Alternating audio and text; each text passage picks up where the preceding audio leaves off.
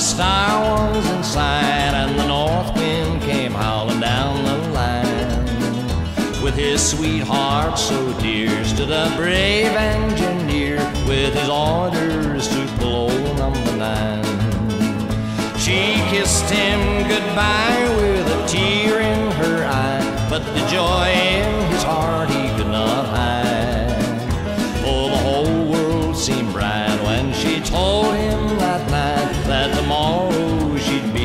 Blushing.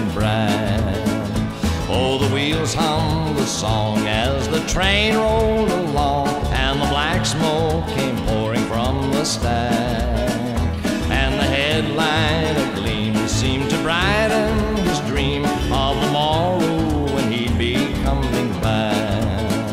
He steered round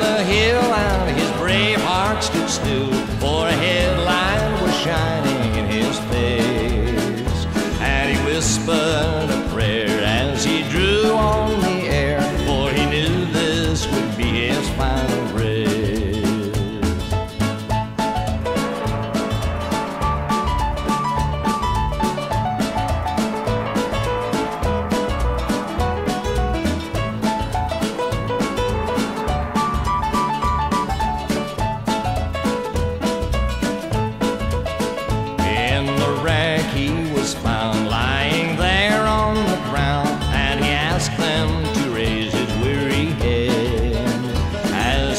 slowly went, this the message he sent to the maiden who thought she would